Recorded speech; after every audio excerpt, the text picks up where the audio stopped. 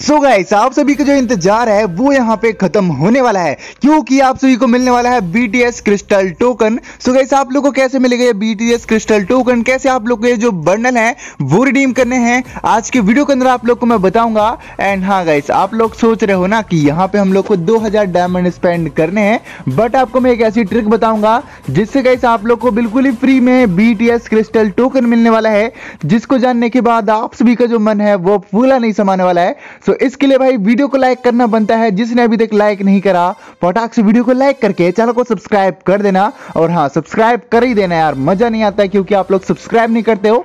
तो गाइस सबसे पहले यहाँ पे जो इवेंट है बीटीएस क्रिस्टल का, यहाँ पे आप लोगों को ये टोकन तो देखने को मिल रहा है बट यहाँ पे जो मेन चीज़ है स्पेंड 2000 डायमंड यहाँ पे इन्होंने कहा है कि जब आप लोग 2000 डायमंड गेम के अंदर स्पेंड करोगे, तब हम आपको ये जो टोकन है, वो प्रोवाइड कराएँगे। बट गाइस मान लो अपने पास डायमंड ही नहीं है। हम हैं गरीब, हमारे पास है 12 डायमंड तो अभी इस स्थिति में हम लोग क्या करेंगे? कैसे हम लोग को मिलेगा फ्री में क्रिस्टल टोकन सो गाइस आप लोग को ज़्यादा परेशान नहीं होना है, क्योंकि यहाँ पे अपना जो बी जेवल कैलेंडर आया हुआ है, यहाँ पे आप लोग जब पढ़ोगे तो गाइस आप लोग को दो टोकन मिलने वाले हैं। एक आपको फ्री में मिलने वाला है एक आप लोग को 2000 डायमंड स्पेंड करने पे मिलने वाला है। यानी कि आप लोग सात में से कोई दो बंडल को निकाल पाओगे। जी हाँ गाइस एकदम सही सुना आप सभी ने। आप लोग को यहाँ पे दो बंडल मिलने वाले हैं। एक आपको फ्री में मिलने वाला है और एक के लिए गाइस आप लोग को 2000 डायमंड यहाँ पे खर्च करने हैं। सो आप लोग को भैया, अगर फ्री वाला चाहिए तो आप लोग को यहाँ पे एक अप्रैल से जो है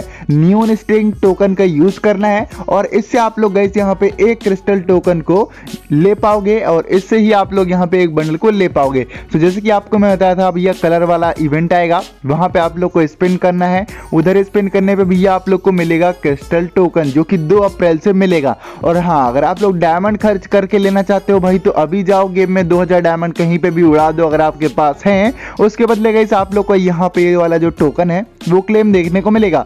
क्लेम करने के बाद आपको करना क्या है? जाना है गेट बीटीएस आउटफिट में। इवेंट के अंदर क्लिक करना है। इवेंट के अंदर क्लिक करने के बाद भैया तुम्हारे को यहाँ पे देखने को मिलेगा कि तुम्हारे पास है एक BTS का टोकन तो उससे आप लोग को यहाँ पे स्पिन कर देना है। यहाँ पे कोई भी एक बंडल को भैया आप लोग यहाँ पे ले पाओगे। ये रैंडम है भैया कि कौन सा आपको मिल जाता है, मैं, मेरे को नहीं पता कि ये आप लोग खुद चूज़ कर सकते हो। बट यहाँ पे ऐसा ही आपको करना रहेगा। सो आप लोग बताना, आप सभी का फेवरेट बंडल कौन सा है? और आप लोग को ये न्यूज़ जानने के बाद अच्छा लगा या फिर अच्छा नहीं लगा प्लीज़ कमेंट सेक्शन में ज़रूर बताना। मिलेंगे आप सभी से अगली वीडियो में, तब तक के लिए बाय बाय एंड जय हिंद गाइस